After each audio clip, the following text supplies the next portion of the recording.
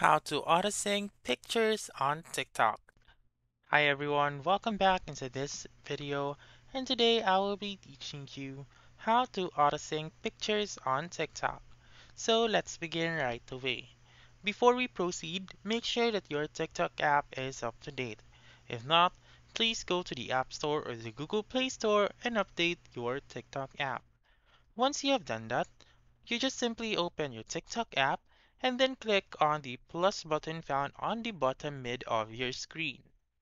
And then once you're here, what you're going to do is to simply go to camera so that you have a longer um, what you call um, time to record or to post a picture.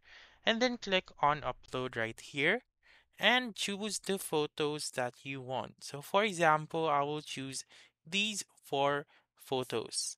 And then what I would suggest you to do is that you should also add just one video so that you may use the um, auto sync feature. So for example, I will just choose the photos and click on next. And as you can see, there is no option in which I can auto sync the photos to the sound. So if you add a video, so let's get go back add a video. For example, I'll just add this one. Click on next and then you should wait for it to load. And once it is done loading, you may be able to see the adjust clip option right here and click on auto sync right here on the leftmost part. And as you can see, the time has been changed instead of the default, which is 3 seconds. So the time of the pictures has been changed.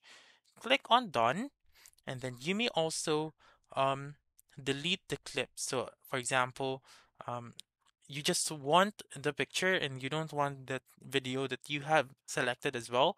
Just simply click on it and then click it right here, the delete button, and then click on delete once again.